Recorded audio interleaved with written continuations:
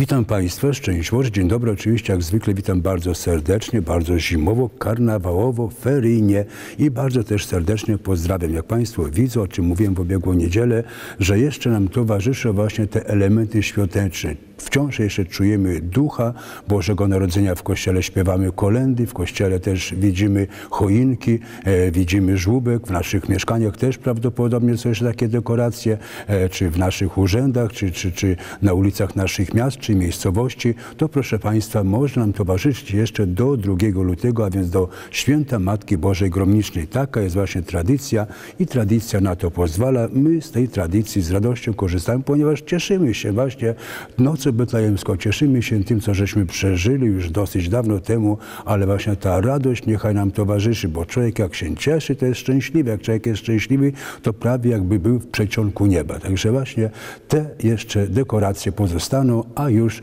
za tydzień spotkamy się zupełnie, zupełnie e, w innej odsłonie i pojawią się zupełnie też inne dekoracje, bardziej może skromne, ale jeszcze wciąż w okresie zwykłym, czyli w okresie, w okresie Białego Karnawału. Kochani, no właśnie jest 28 stycznia, oznacza to, że jest to ostatnia niedziela tegoż miesiąca.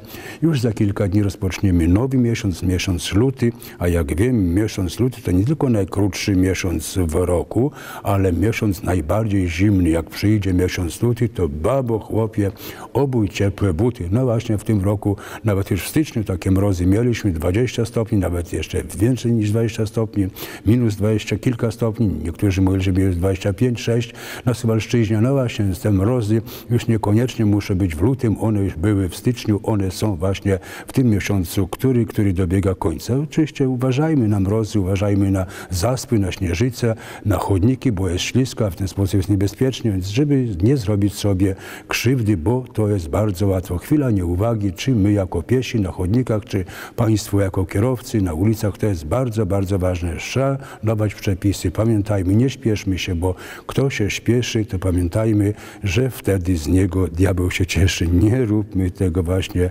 żebyśmy byli powodem e, do radości dla diabła. Dziękuję, dziękuję bardzo właśnie w ten sposób za to, że Państwo tego słuchają i mam nadzieję, e, że rozumieją. Kochani, no jest właśnie połowa ferii, tak? Już tydzień za nami, za Wami, droga młodzieży, drogie dzieci, drodzy nauczyciele ferie zatem z górki.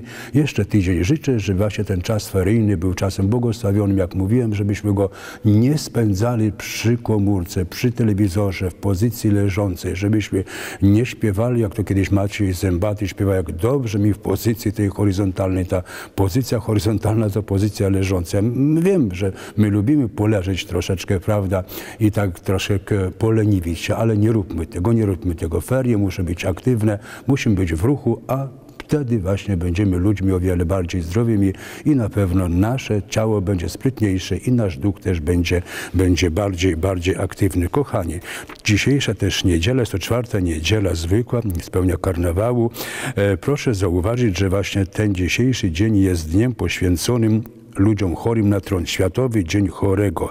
Jest to właśnie okazja do tego, żeby pomodlić się za ludzi chorych na tego rodzaju chorobę. Kiedyś to była bardzo niebezpieczna choroba, bardzo taka choroba też, która powodowała eliminację życia, życia takiego właśnie publicznego. Weźmy Pismo Święte do ręki, tam można właśnie poczytać, jak to byli ludzie traktowani na chorzy na tron. Jak byli traktowani? Oni musieli krzyczeć, że są nieczyści, że, że są niebezpieczni, bo zarażają, bo jest to właśnie też choroba e, zaraźliwa. Dlatego też dzisiejsza niedziela jest okazją do właśnie takiej modlitwy za ludzi chorych. I teraz jeszcze proszę Państwa, e, luty, no właśnie tydzień, który rozpoczynamy, przyszedł ostatni dzień miesiąca stycznia, a potem luty, i właśnie drugi dzień lutego to jest święto Matki Bożej Gromnicznej, zatem kończy się czas śpiewania kolęd, kończy się czas dekoracji, dekoracji bożonarodzeniowych, ale jednocześnie, przepraszam, jest to święto dzień czy święto, niech będzie święto e, życia konsekrowanego. Dlatego też pozdrawiam wszystkie siostry zakonne, zakonników, braci zakonnych, ojców zakonnych, e, żeby właśnie e, to wasze święto było okazją nie tylko do modlitwy, nie tylko jakichś tak wzajemnych gratulacji, ale żeby też było okazją do refleksji nad sobą, nad swoim powołaniem i nad swoim życiem, które właśnie oznacza życie konsekrowane. No i warto też zauważyć, trzeci dzień lutego, a będzie to sobota, wtedy wspomniałem wspominamy świętego Błażeja.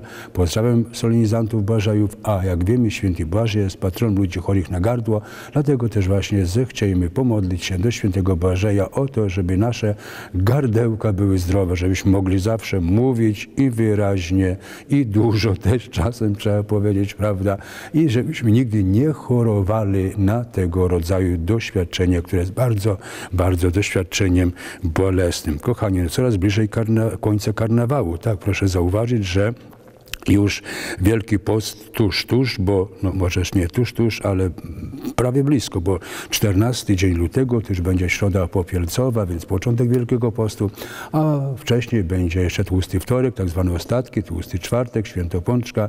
Do tego też powoli zechciejmy przygotować się, bo to są też bardzo ważne takie wydarzenia e, w naszym takim życiu publicznym, w naszym takim życiu, jeżeli chodzi o nasze życie też osobiste, czy takie po prostu życie ludzkie. Kochani, no właśnie, jest, jak powiedziałem, czwarta niedziela zwykła, rok B i gdy będziemy w kościele, bądź też gdy byliśmy, tu usłyszymy, ewentualnie usłyszeliśmy słowa Ewangelii według świętego Marka. W Kafarnaum w szabat wszedł do synagogi Jezus i nauczał. Zdumiewali się Jego nauką, uczył ich bowiem jak ten, który ma władzę, a nie jak uczynił w Piśmie. Był właśnie w ich synagodze człowiek opętany przez ducha nieczystego.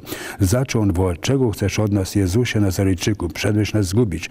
Wiem, kto jesteś, święty Boga. Lecz Jezus rozkazał mu surowo, milcz i wyjdź z niego. Wtedy duch nieczysty zaczął nim miotać i z głośnym krzykiem wyszedł z niego, a wszyscy zumieli się e, i jeden pytał drugiego, co to jest, jakaś nowa nauka z mocy. Nawet duchom nieczystym rozkazuje i są posłuszne. I wnet rozeszła się wieść o nim wszędzie po całej okolicznej krainie galilejskiej. Kochani, właśnie ta wieść o Chrystusie rozeszła się po całym świecie. Ona dotarła też do nas. Czy właśnie ta wieść o nim jako tym, który uwalnia od chorób, jako ten, który e, daje zbawienie, który proponuje zbawienie, jako tym, który nas kocha bez względu na wszystko, czy właśnie my takiego zauważamy Jezusa, czy On jest z nami i czy my też jesteśmy z, z Nim, bo On jest na pewno z nami, tylko czy my Jego nie odrzucamy swoim życiem, swoim zachowaniem, swoim postępowaniem. Zróbmy taki właśnie rachunek sumienia, taką mało w tej materii zadumkę. Czy ta wieść o Chrystusie jest wieścią, która nas cieszy, która nas raduje i która zmienia nasze życie na lepsze. Dziękuję bardzo, pozdrawiam serdecznie i wszystkiego najlepszego na nowy, wciąż jeszcze karnawałowy, rozpoczynający się tydzień. Zostańcie z Bogiem.